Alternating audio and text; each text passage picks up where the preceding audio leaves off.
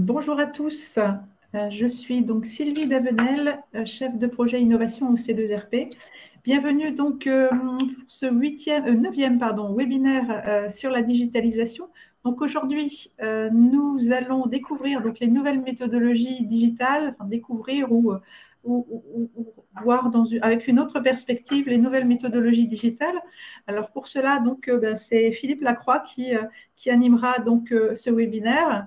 Mais avant de lui donner la parole, bonjour Philippe. Donc, euh, juste quelques informations. Donc, vous avez la possibilité de télécharger le support de cours, euh, le support de présentation en bas euh, à droite. vous avez aussi l'onglet questions qui vous permet donc d'interagir avec nous, de nous saluer. Bonjour Yann, bonjour Hervé, bonjour à tous. voilà, donc n'hésitez pas à, intervenir au moment où une question arrive, n'hésitez pas à la poser, on les prend au fil de l'eau, donc euh, n'hésitez surtout pas. Alors, donc avant de commencer, juste un petit rappel sur ce qu'est le C2RP. Donc, nous sommes un CARIFOREF euh, sur la région des Hauts-de-France et notre, nos missions sont de récolter euh, les données de l'information, de la formation, pardon, de l'emploi, de l'insertion et de d'établir des, tableaux de bord à, destination des acteurs de la formation. On accompagne également et on informe donc les, ces acteurs de la formation professionnelle, dont les formateurs, les dirigeants, les conseillers en insertion professionnelle. Donc, on les accompagne euh, sur leur veille professionnelle. Euh, voilà. Et aujourd'hui, donc, euh, on est sur un webinaire en, en, relation avec la digitalisation de la formation. Et c'est donc Philippe qui, qui va prendre le relais pour vous expliquer, donc, vous parler de ce webinaire du jour. Bon webinaire à chacun. Voilà, Philippe, c'est à vous. Et merci. Euh, bonjour à toutes, bonjour à tous. Rebonjour à ceux qu'on a vus lors des précédents webinaires euh, et, rebonjour aux petits nouveaux. Euh, on est ensemble pour à peu près trois quarts d'heure. c'est l'avant-dernier webinaire de la série. Alors voilà, pour ceux qui, ne connaissent pas. Et, et pour s'échauffer, je vais vous demander d'utiliser le petit onglet questions, puis ça vous permettra de laisser le temps aux éventuels retardataires d'arriver, et de me dire dans l'onglet questions, quelle expérience de formation digitale vous a marqué? Euh, Celle dont vous vous souvenez pour de bonnes ou de mauvaises raisons, hein. euh, mais pour ceux qui ont eu l'opportunité d'avoir une expérience de formation digitale, que ça soit à distance ou de, de la simple auto-formation, donc de, toute forme de formation digitale, synchrone, asynchrone, classe virtuelle, e-learning, euh, autres. Mettez-moi dans le petit onglet questions euh, euh, celle qui vous a laissé un souvenir, quelle qu'elle soit. Voilà. Et puis je verrai comme ça sur quels exemples je pourrais éventuellement m'appuyer, parce que c'est une séance aujourd'hui vous allez pas mal travailler. Alors, je vais vous solliciter, donc euh, il faut toujours un petit échauffement. Alors, je vous écoute, dites-moi donc dans la question. Euh, formation à la préparation mentale, 100% en ligne pour Hervé.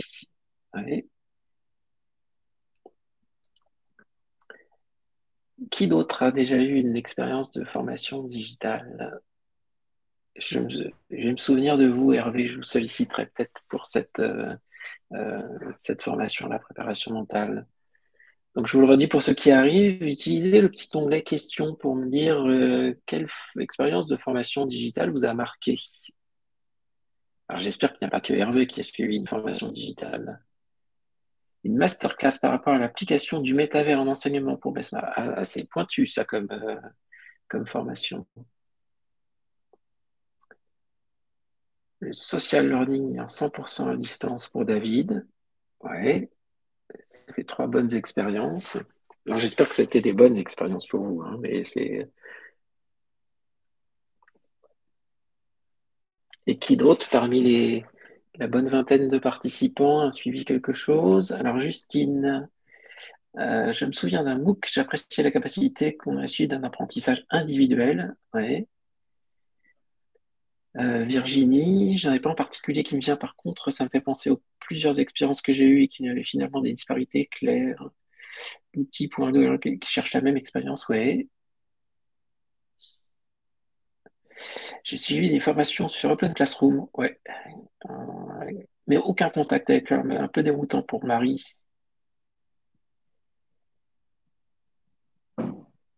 Alors Mathilda, pas qui nous ait marqué, et nous en faisons souvent.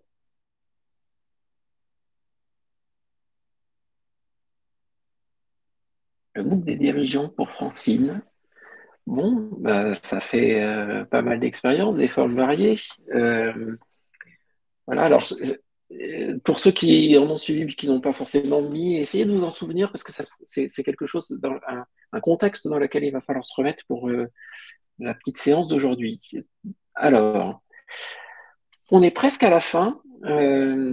formation à la digitalisation de notre offre de formation pour Béatrice. Ah, très bien. Et à distance en plus. bonne, bonne, expérience. Alors donc on est à une semaine de la fin. On terminera cette euh, série, ce cycle, par la conception d'une formation hybride. C'est ce qu'on fera tous ensemble, pour tous ceux qui seront présents la prochaine fois. Euh, on essaiera de concevoir ensemble, euh, j'ai prévu quelques activités pour ça, une formation hybride, ce qui verra, permettra de nous voir dans quelle logique, quelle démarche, par quelle étape on passe, quelles questions on se pose et quels choix on fait pour arriver à concevoir une formation hybride.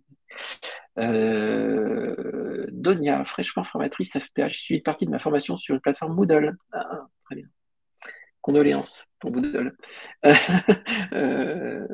Euh, ok. Et, et entre cette euh, séance et la prochaine, il y aura une petite activité asynchrone. Alors, cette fois-ci, j'ai fait très simple. Donc, j'espère que vous, aurez euh, le temps euh, et l'envie de, la faire. Vous verrez ça à la fin. Euh, aujourd'hui, on va parler des nouvelles méthodologies digitales.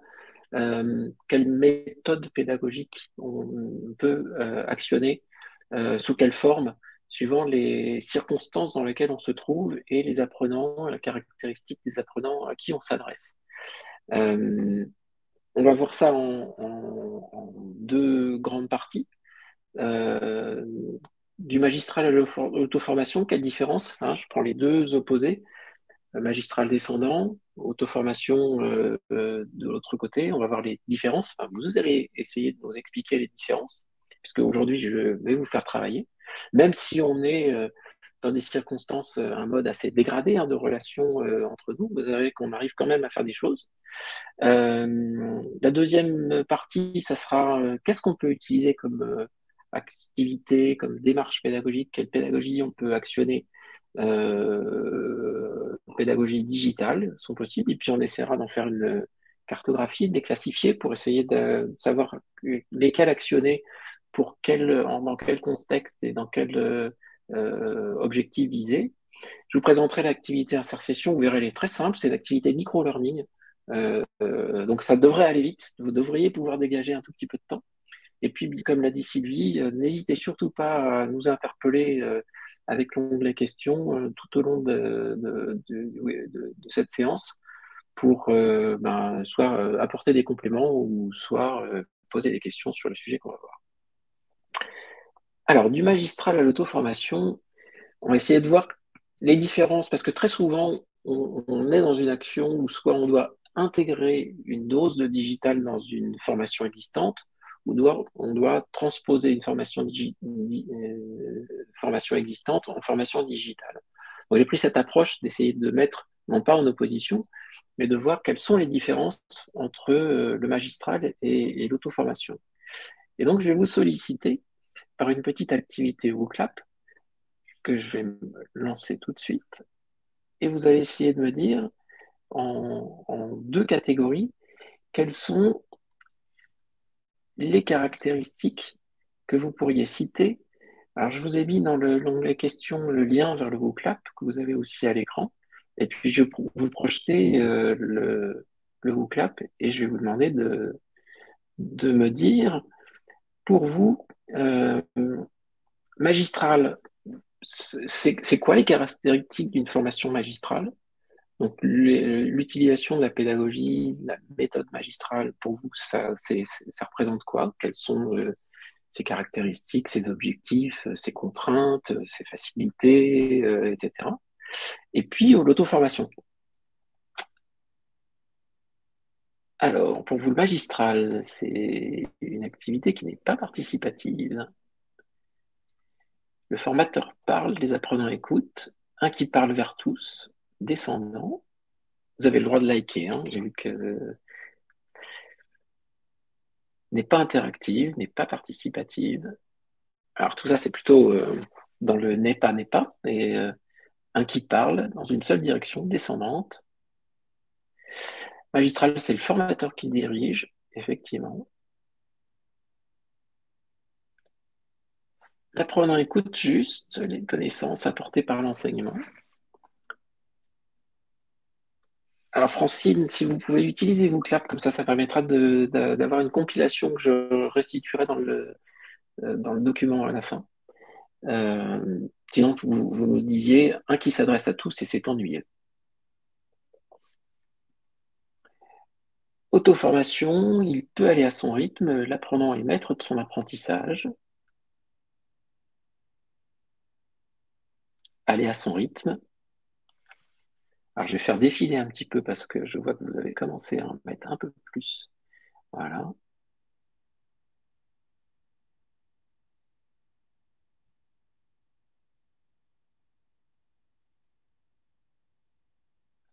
Un sachant qui sait et qui ne savent pas pour le magistral. Beaucoup d'apprenants pour le magistral. Auto-formation, l'apprenant est plus libre. Alors, je vais me permettre de déplacer. Hop, voilà. Pour le magistral, vous avez rajouté formation uniforme. Oui, je suis d'accord. Alors, en auto-formation, je reprends ce que vous avez noté. Il peut aller à son rythme. Un effort nécessaire, oui. On fera une petite synthèse de tout ça. Hein. Manque de guidage. Il faut une bonne, dose de motivation. Quand il veut, où il veut. L'apprenant s'organise auto-formation est plus libre, plus autonome, il peut aller à son rythme, effort nécessaire, adapter et personnaliser notre apprentissage en fonction de notre objectif, avec un petit like dessus. Approfondir certains sujets, grande discipline individuelle, Le formateur doit être plus attentif à ses apprenants, le suivi doit être adapté à chaque personne. Possibilité d'auto-formation en groupe, oui, groupe et sous-groupe. Peut prendre plus de temps, mais meilleure rétention de la connaissance. Ouais. Dans certains... je, vais, commenter tout ça après, hein, formation à Tawadak, oui. Oh, vous êtes euh, super productif aujourd'hui, c'est bien. Grande discipline individuelle, approfondir certains sujets. Ok, merci beaucoup pour cette euh, production. Alors, je vais me permettre de, commenter tout ça. Euh, ce que vous dites globalement, alors c'est forcément un peu caricatural parce que je vous ai demandé les grandes caractéristiques, donc on n'est pas trop dans la nuance, on est dans les, faits saillants de ce qui euh, vous ressort. Heureusement, le magistral n'est pas forcément toujours que descendant, pas interactif, un qui parle. même si aujourd'hui, par exemple, on est tout à fait dans une pédagogie magistrale relativement descendante avec quelques interactions, mais pas individuelles. Euh, donc, euh, on est plus aujourd'hui dans un webinar que dans une, euh, une classe virtuelle. Donc, grosso modo, vous dites le magistral, c'est un qui sait, d'autres qui écoutent, une façon d'exprimer le savoir et pas forcément une appropriation, une représentation claire. vous avez rajouté beaucoup d'apprenants. Oui, ça c'est une, chose qu'on qu'on peut faire, descriptif, informationnel plus que pédagogique. Euh, ça peut éclairer sur les aspects euh, théoriques et c'est effectivement des savoirs généraux. Le formateur se demande s'il apprenant en bosse ou s'il est la télé. Euh, alors, tac, je vais le mettre de côté. Nécessite de l'éloquence, ce n'est pas participative. Voilà. Alors, plutôt des, caractéristiques euh, que vous avez jugées un peu négatives. C'est marrant parce que euh, j'ai déjà fait cet exercice il y a deux ans et on trouvait plutôt des aspects positifs au magistral, c'est-à-dire que c'était plus humain, euh, on était plus dans l'écoute, on était plus dans l'empathie, on était plus dans le partage, etc. Alors que là, vous avez utilisé pas mal de négatifs.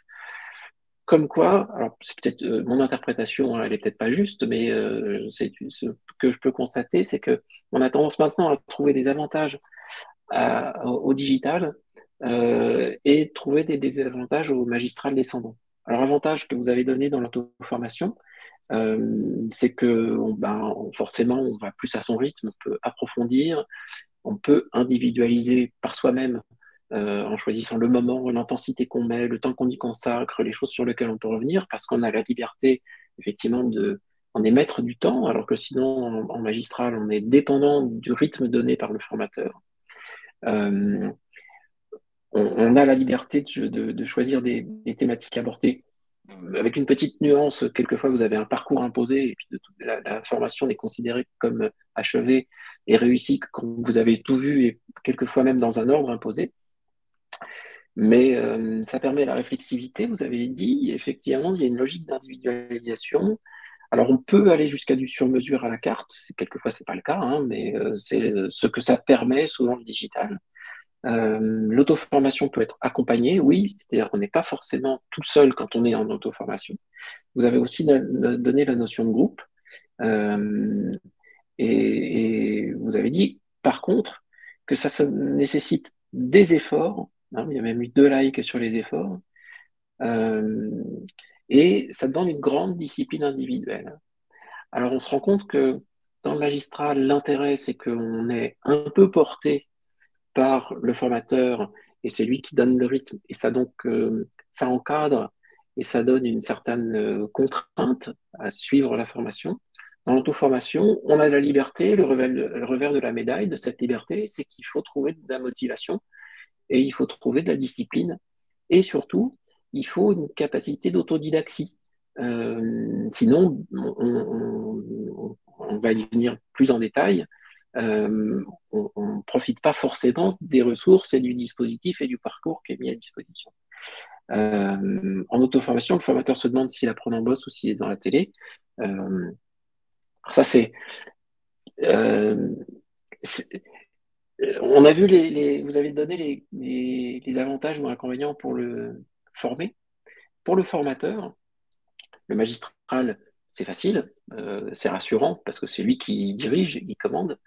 En auto-formation, quand il y a de l'accompagnement par un ou plusieurs formateurs ou des tuteurs ou du support pédagogico-technique, euh, effectivement, lui, ça change aussi pour lui. C'est-à-dire qu'il n'est pas à côté des, des, gens qui sont formés, il n'est pas en même temps que pendant qu'il se forme, et donc, eh bien, forcément, il n'est plus dans le contrôle, euh, il n'est plus dans la maîtrise. Donc, euh, ici, il se demande s'il bosse ou s'il est devant la télé, c'est une question qui ne se pose pas, en fait. C'est il va juger sur acte, sur résultat, sur l'avancement, le résultat des micro-tests, des micro-exercices, des, exercices d'apprentissage ou des moments où le formateur est avec les participants avec des activités digitales, euh, comme une classe virtuelle, euh, des micro-sessions de travail à distance, euh, etc. Donc en fait, il faut qu'il accepte, qu'il lâche prise sur le contrôle dans l'auto-formation à distance. Merci pour ce, cette ces, contributions. On va essayer de trouver une classification, justement. On va voir comment est-ce qu'on peut déterminer les situations et les classifications? Alors j'ai proposé, il y a plein, d'autres critères que ceux que j'ai mis là, mais j'ai essayé de faire simple parce qu'on n'a pas beaucoup de temps aujourd'hui. C'est un, petit peu une introduction au sujet. Euh, alors, Bessman nous dit la l'utilisation est chronophage. Oui, euh, digitaliser un parcours, c'est chronophage. Cependant, euh, je, me permets de revenir sur cette remarque qui a été donnée là. Digitaliser un parcours, par exemple, prenant l'équivalent d'une journée de formation, un parcours de 6 ou 7 heures, c'est beaucoup de temps de travail de digitaliser 6 ou 7 heures qu'on pourrait faire en salle. Alors, si on fait la formation une fois, pour 20 personnes, par exemple, il vaut mieux essayer de réunir les gens euh, en salle euh, ou plusieurs fois dans une classe virtuelle en digitalisant peu de choses par rapport à ce qu'on aurait fait en présentiel euh, avec les gens face à face, plutôt que de passer quatre ou cinq fois l'équivalent de pour digitaliser les ressources, faire les exercices, etc., pour que les gens soient autonomes et puissent les faire tout seuls. Seulement si on fait cinq fois, dix fois cette formation en salle, là, par contre, le temps de digitalisation va être du temps gagné par rapport au temps d'animation. Donc, ça dépend le nombre de sessions qu'on fait, le nombre de personnes qu'on veut former. La digitalisation, oui, ça prend du temps, mais ça, on peut en faire gagner au final par rapport à animer X fois la même session de formation. Donc, je, suis d'accord avec vous, mais c'est à pondérer par rapport au nombre de personnes formées. Alors, revenons sur cette classification. J'ai mis deux axes.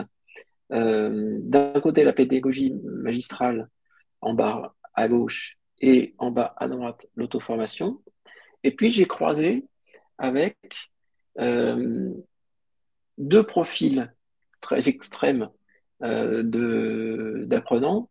Celui qui a une grande capacité d'autodidaxie, de la discipline personnelle, de, la capacité à se mobiliser tout en haut, qui progresse seul, et la personne qui possède peu ou mobilise peu de capacité d'autodidaxie et qui a peu ou pas d'organisation et de motivation personnelle et qui a besoin de progresser avec soutien.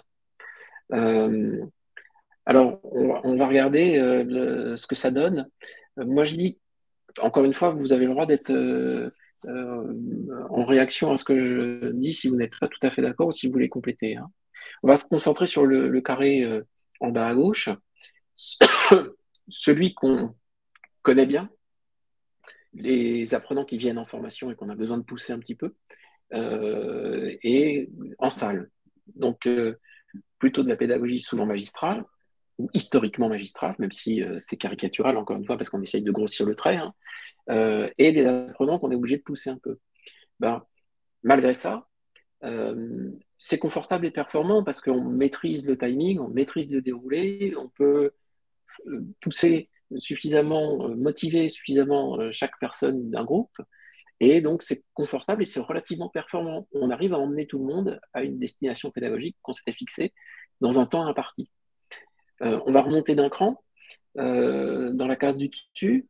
Si on est dans une situation de pédagogie magistrale avec des apprenants qui ont la capacité d'autodidaxie et de motivation pour se former seuls, ben, ils vont trouver que cette euh, pédagogie magistrale, elle est relativement confortable parce qu'ils aimeraient que ça aille plus vite par moment, ou qu'on saute des étapes, ou qu'on fasse pas dans le même ordre, ou qu'on passe un peu moins de temps ou un peu plus de temps sur certaines choses. Et ils vont trouver ça peu performant en global, en termes d'efficience, c'est-à-dire qu'en général, ils considèrent que ça prend trop de temps par rapport au résultat. Euh, on arrive bien sûr au résultat, mais avec un peu d'inconfort pour cette catégorie de personnes dans cette situation magistrale et une personne qui ont la capacité d'autodidaxie. Euh, puis on va, on, va se basculer à droite. Euh, si on est en situation pédagogique d'auto-formation avec des gens qui ont besoin d'être accompagnés pour progresser, eh bien, ils vont trouver ça eux aussi inconfortable et plus performant. Parce que euh, bah, ils ne voient pas vraiment de motivation intrinsèque à se former. Donc, euh, habitués à être un peu poussés, portés, bah, ils vont se retrouver assez démunis. Ça va être relativement confortable parce qu'il va falloir qu'ils se forcent. Euh, et ils vont trouver ça peu performant parce qu'ils euh, bah, n'ont pas forcément d'habitude de, mobiliser des compétences d'autodidaxie. et donc, ils sont un peu rouillés peut-être par rapport à ça ou pas d'envie. Et ils vont trouver que bah, le parcours, finalement, c'est compliqué pour aboutir à un résultat qui ne maîtrisent pas très bien, parce que souvent, quand on n'a pas beaucoup de capacité d'autodidaxie ou qu'on sait pas bien les mobiliser, on ne sait pas si on apprend correctement, parce qu'on n'a pas de feedback immédiat pendant qu'on est en train de se former. Euh, donc ça, ça peut être aussi inconfortable et peu performant. Puis on va monter d'un cran. En auto-formation, pour, les gens qui progressent seuls, eux, là, ils vont à ce moment-là se trouver à l'aise. Euh, les gens qui ont euh, de la motivation et de l'autodidaxie capables de le mobiliser, en auto-formation, eux vont trouver ça confortable parce qu'ils vont galoper sur certains, euh, euh, dans certains contenus, euh, trouver que la liberté, ça leur convient très bien, et puis de l'accompagnement de temps en temps quand ils le sollicitent, c'est juste s'ils ont besoin pour avoir les compléments pédagogiques sur certains points difficiles. Alors Justine nous dit, je trouve aussi que pour ces apprenants qui suivent un dispositif pour se raccrocher à la société, enfin pédagogie, entre pédagogie digitale peut accroître cette fracture, il est important d'avoir un minimum d'autonomie. Tout à fait d'accord. Il faut donc faire attention à ça. Et quand on conçoit un, parcours de formation digitale ou hybride, hein, euh, mixte, mais en général, euh, quand on parle d'hybride, c'est plutôt euh, un parcours fortement digital dans lequel il y a un peu de présentiel ou de synchrone au minimum. Et donc, euh, on, change, on n'est plus dans le carré en bas à gauche, on est un peu souvent dans les, deux carrés de droite. Et donc, bah, il, faut, ne serait-ce que pour avancer dans le parcours, cette capacité à être à l'aise avec la prise en charge individuelle par soi-même de sa formation. Je suis d'accord avec vous, Justine. Soyons vigilants à ça. Euh, je vous ai mis quelques éléments plus euh, précis sur ce qu'on peut mettre dans chacun des carrés. Euh, dites-moi si vous êtes d'accord, je ne veux pas vous en faire la lecture, je vous laisse le, temps d'en prendre connaissance, mais voilà, ça, rassure. On est par contre dans la mémorisation plutôt que dans l'appropriation, puisqu'on est en train de recevoir le savoir sous une certaine forme qui est là préétablie, prédigérée, et on est plus dans la, mémorisation que l'appropriation ou l'assimilation. Et puis, c'est difficile, dans ce cas, d'atteindre l'autonomie, puisqu'on est encadré pendant qu'on se forme, et assez, on mobilise assez peu sur le moment ce qu'on est en train d'apprendre pour se l'approprier. Donc l'atteinte de l'autonomie dans la mise en œuvre des savoirs ou des connaissances euh, ou des compétences qui sont euh, euh, enseignées était assez difficile. Dans le, cas d'une personne qui, euh, euh, comme on l'a dit, euh, aime être encadrée et en auto-formation, bah, ça peut générer de l'anxiété et des limites à l'apprentissage. Il faut bien en avoir conscience. Et je, redis bien ce que j'ai éventuellement dit dans d'autres séances. Il faut donc ne pas être élitiste dans les exercices et dans les processus et les méthodes d'évaluation quand on est dans un dispositif qui inclut du digital tout ou partie, parce que, comme le disait Justine, il ne faut pas que ça soit adapté aux, seules personnes qui vont trouver, euh, vont être à l'aise avec les activités digitales et donc vont dépasser cette contrainte d'utiliser le digital pour se former et restituer ce qu'ils ont compris.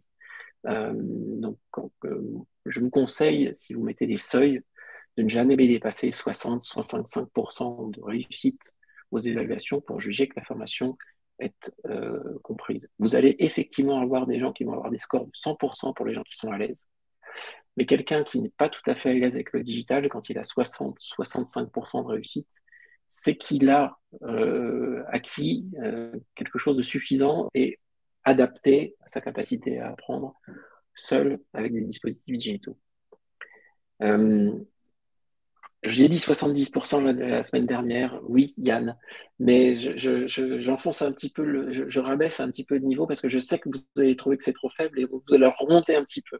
70%, c'est ce qu'on trouve habituellement, euh, et, mais ne le dépassez jamais. Euh, voilà. J'ai encore vu des dispositifs avec 80% de réussite. Non, euh, non en, en, digital, c'est juste euh, élitiste et donc c'est pas, on peut pas être élitiste quand on veut faire de la formation digitale sur un grand nombre de personnes. Euh, voilà, euh, on a en général peu d'engagement, ce qui est dommage pour les gens qui ont une capacité d'autodidaxie en pédagogie magistrale. C'est ceux, au contraire, qui pourraient euh, être les plus moteurs, mais en général, ça, ça, va les, décourager et, avec ce sentiment de perte de temps, comme je vous l'ai dit. Ah ben voilà, je vous ai au moins euh, sensibilisé, Yann, tant mieux. Euh, et puis donc, ben voilà, ça c'est ce, ce qu'on attend tous quand on fait une formation digitale, c'est que les gens soient agiles, que ça percute vite, qu'ils progressent seuls, qu'on n'ait pas trop besoin de les pousser, etc. ça arrive, fort heureusement, ça arrive. C'est en général pas la majorité. Donc, mettez en place de l'accompagnement, de la communication, des actions proactives, des points de rencontre, des points d'étape, comme on a vu dans les webinaires précédents, euh, etc., pour que anticiper les décrochages et ne pas avoir à les gérer, euh, limiter l'apparition éventuelle de décrochages, euh, avoir une dynamique de groupe, partager des choses, euh, mettez en relation les gens entre eux, ou en tout cas rebondissez sur ce qui s'est passé pour certaines personnes vis-à-vis des autres, même si elles ne sont pas ensemble. voilà, c'est tout ça qu'il faut faire pour que les gens qui vont avoir plus de mal que les autres ne soient pas à la traîne et n'est pas de sur-effort à faire pour progresser. la formation, c'est quand même pour être généreux, pour transmettre des choses, pour être empathique avec les gens qu'on forme. Donc, euh, il faut se mettre à la place des gens qui auront le plus de difficultés et tout faire pour que ces gens-là réussissent. Voilà, donc je vous ai fait un résumé de, ça pour que dans le support final, je virerai les étapes intermédiaires et, vous aurez juste cette, dernière partie. Est-ce que vous êtes d'accord avec ce que j'ai dit? Cette classification, vous en auriez fait une autre? Vous auriez d'autres? Moi, j'ai gardé que ces deux, deux grands axes. Hein, euh, euh, est-ce que vous auriez mis autre chose? Ou vous êtes à peu près d'accord avec, euh, avec, ce que j'ai dit là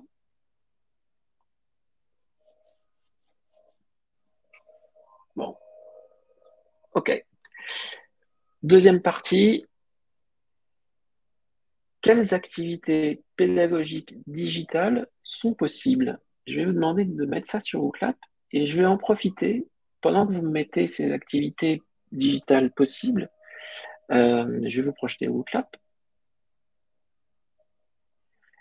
Je vais mettre dans les quatre cases, euh, j'ai le support et je vous le projetterai. Euh, je vais essayer de mettre dans les quatre cases, alors selon mon interprétation, encore une fois, donc vous, vous, ne feriez peut-être pas la même chose que moi hein, euh, dans la classification, mais je vais essayer de mettre dans les quatre cases là où je situerai ce que vous me proposez comme activité pédagogique digitale possible. Alors vous mettez classe virtuelle. Euh, alors, Philippe, est-ce qu'on pourrait revoir le lien ou peut-être euh, ah, revenir sur le, sur le QR code? Super, oui. merci. Voilà. Et je vous ai remis le lien dans le, la petite question. Merci. Ce qui ne vous empêche pas de répondre au boucles.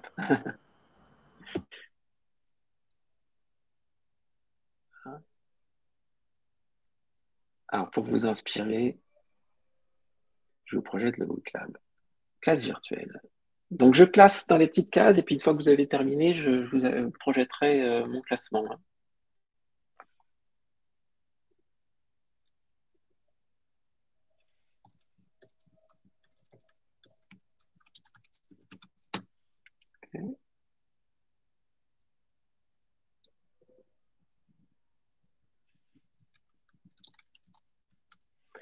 Classe virtuelle, classe inversée, Serious Game.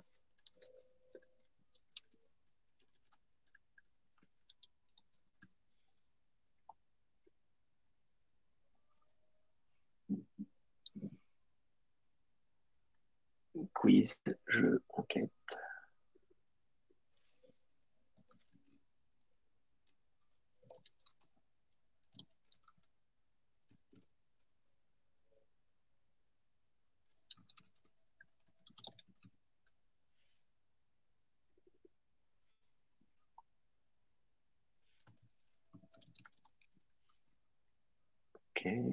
nuage de mots.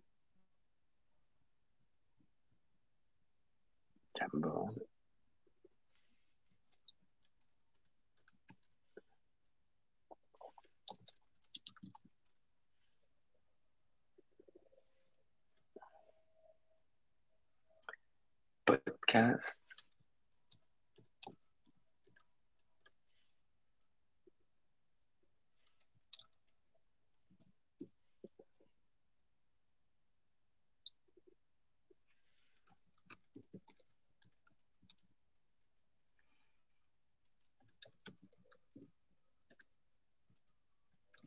Brainstorming, des échanges en petits groupes.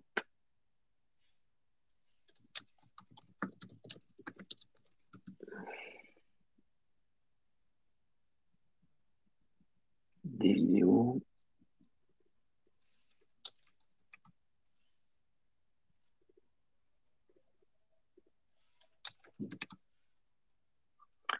Carte mentale.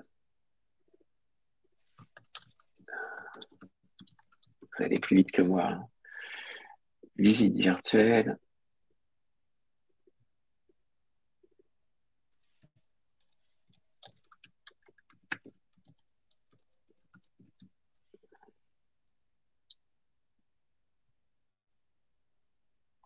Forum.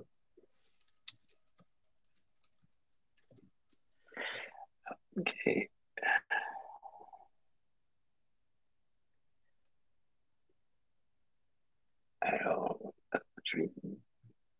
Un petit peu. Fast learning, des images interactives.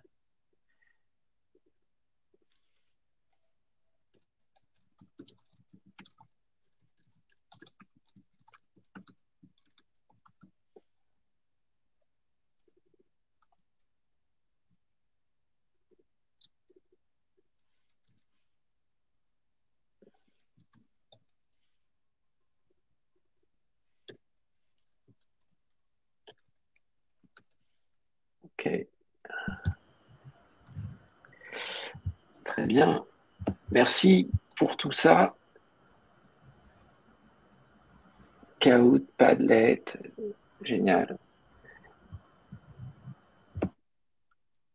Alors, je vous montre le, résultat de, de, ma, classification. Hein. Je vais partager. Et je garderai tout ce que vous avez mis dans le booklap et je le compléterai. Hein. Hop, je partage une fenêtre. Voilà, je pense que vous le voyez. Alors, je ne vais pas rentrer dans le détail de ce que vous avez mis parce que euh, c'est bien évidemment euh, contestable, c'est ma représentation. Euh, pour moi, classe virtuelle, podcast, vidéo, c'est quelque chose qui est assez peu interactif et très guidé. Ça correspond bien, en général, aux descendants pour les personnes qui ont besoin d'être guidées et encadrées. Euh, en auto-formation, quiz, jeu, enquête, serious game, du virtuel, ça, c'est des choses où effectivement on est un peu seul, mais on est avec des outils qui cadrent. Euh, le quiz, il faut répondre aux questions, le jeu fait suivre des règles, l'enquête, il, faut explorer, le serious game, il faut jouer avec, mais il y a des contraintes, des règles, des principes. La visite virtuelle, ben, il faut suivre ce qu'on voit. En tout cas, on est plutôt guider. Par contre, fast learning, images interactives, etc., il faut savoir utiliser ces choses-là, il faut être très à l'aise, il faut savoir en tirer profit, et c'est plutôt pour les gens qui aiment progresser. Et puis, euh, dans ce que vous avez dit, et je, m'y attendais, classe inversée, présentation orale, brainstorming, échange en petits groupes, carte mentale, forum, nuage de mots, jamboard, etc. C'est plutôt des activités pédagogiques qui sont efficaces, très performantes, qui vont vite, qui sont très chouettes à faire, mais qui marchent bien avec les gens qui ont cette capacité à se motiver et cette capacité à utiliser le digital et, à mobiliser l'autodidaxie. Donc, ce, que je voulais euh, vous, mettre en avant, c'est que les activités, et encore une fois, tout, ce, ce euh, peut être contesté, on peut avoir des avis différents et on pourrait passer des heures à discuter de, ce classement. J'essaierai de, compléter avec tout ce que vous avez mis et d'y réfléchir un petit peu plus parce qu'il évoluera peut-être. Mais en tout cas, soyez très euh, attentifs quand vous choisissez des méthodes pédagogiques digitales à mm, les varier suffisamment pour pas vous retrouver avec dans un parcours qui soit que digital ou hybride, avec que des choses qui soient euh, soit par l'activité elle-même, ou soit par l'effort d'encadrement et d'accompagnement que vous mettez, euh, trop ciblé sur les gens justement comme vous à l'aise avec le digital, parce que quand on se conçoit euh, ou quand on se lance dans la conception ou l'animation ou la constitution d'un parcours digital, en général, on est suffisamment à l'aise avec le digital pour jongler entre tout ça. Mais les gens qui vont se former avec ce dispositif n'ont peut-être pas cette même capacité, donc attention, à ne pas euh, euh, trop euh, en mettre dedans. Donc voilà, je, remettrai dans le support que Sylvie vous remettra à disposition ce classement des activités digitales. Je vous propose de vous présenter l'activité insertion et je prends un peu plus de temps que d'habitude parce que j'aimerais que celle-ci, on la fasse. et je vais vous expliquer pourquoi. je vous ai proposé un exemple alors, je peux même vous mettre le lien si vous êtes curieux pour y aller tout de suite. Regardez ce que ça donne. Euh, hop, je vais le copier-coller dans la zone. Voilà. C'est une page sur laquelle il y a des exemples de micro-learning. Micro-learning, en plus, très facile à faire parce que c'est forme de vidéo. Donc, j'ai choisi euh, Intercession, c'est entre Yann, c'est entre aujourd'hui et mardi prochain quand on va se revoir. si, on, si, vous êtes avec nous la prochaine fois, Yann, pour tous ceux qui seront là la prochaine fois. Donc, il n'y a rien à installer, il n'y a pas de login, il n'y a pas de, etc. C'est vraiment ce qu'il y a de plus, à mon avis, plus facile à regarder, à picorer entre aujourd'hui et mardi prochain. Quelques exemples de micro-learning sous forme de vidéo. Euh, vous avez des exemples variés, mais ce qui est intéressant dans, ces exemples-là, c'est qu'il euh, y a derrière euh, les caractéristiques ou les usages possibles de, ces séquences. Alors moi, ce que j'aimerais, c'est que dans le, on poursuive cette séance avec exactement le même lien WooClap. vous pouvez aller voir, j'ai changé la, page de, de WooClap, que en ayant pris, je pense, 10 minutes maximum à regarder les vidéos ou même les survoler les vidéos, me dire comment est-ce que vous imagineriez concrètement pouvoir utiliser des séquences de micro-learning telles que celles que vous avez en exemple ici, sur les sujets de formation que vous traitez, sur euh, les parcours que vous êtes, euh, que vous animez ou que vous avez suivis ou que vous serez amené à concevoir, à animer ou mettre en œuvre. Comment est-ce que vous envisagez de pouvoir utiliser le microlearning au sein de ces parcours? Soit un parcours composé exclusivement de microlearning, ou soit un parcours hybride avec des séquences de microlearning. J'aimerais vraiment que vous preniez allez, 10 minutes max pour et regarder ça, et restez sur le lien WooClap que je vous ai fait utiliser aujourd'hui. Et une fois que vous avez regardé les vidéos, me dire euh, comment vous pouvez, comment vous imaginez pouvoir utiliser le micro-learning comme activité digitale de formation. Et c'est sur ce résultat-là, alors là c'est vraiment le pari que je fais, il va falloir que vous le fassiez. c'est sur ce résultat-là qu'on va euh, s'appuyer pour concevoir ensemble euh, une formation hybride la semaine prochaine prévu des activités assez chouettes. Euh, donc si vous pouvez jouer le jeu de ces 10 minutes, ça serait euh, peut-être que les activités d'insertion qui n'ont pas forcément fonctionné, que je vous ai présenté la dernière fois, étaient un peu trop complexes et mobilisaient trop de temps. Ah, voilà, ah. je vous demande de, jouer le jeu. Alors pour que ce soit confortable euh, pour, pour tout le monde, peut-être se mettre une, une, date limite, c'est-à-dire pour vendredi soir maximum. d'avoir produit quelque chose. Comme ça, ça vous laisse le lundi pour, pour préparer le, le, webinaire de, mardi prochain? Alors, je vais vous laisser jusqu'à. Ouais, je, vais, je, sais que pas mal de gens vont regarder ce week-end. Donc, je vais vous laisser jusqu'à dimanche soir pour remplir le petit bouclap. Puis, comme ça, je ferai, je ferai la préparation lundi. Ok, merci Philippe. Bon, bah, super, c'est le, challenge euh, de la fin de semaine. Merci. Bon, je, je... rends la main, Sylvie. Moi, j'ai terminé. Oui, oui. Donc euh, voilà, euh, la prochaine session, c'est mardi prochain, 13h, 13h45. Euh, d'ici là, donc un petit travail à faire. Si vous avez la possibilité, ce serait vraiment sympa pour euh, ben, pour euh, interagir aussi. C'est une façon d'interagir aussi dans, ce cycle. Donc euh, voilà. Donc si vous avez d'autres questions, n'hésitez pas avec l'adresse de professionnalisation. quelques dates donc la semaine prochaine pour la deuxième partie, et puis donc une session sur l'intelligence artificielle dans la formation qui est prévue le 29 novembre de 10 à 12.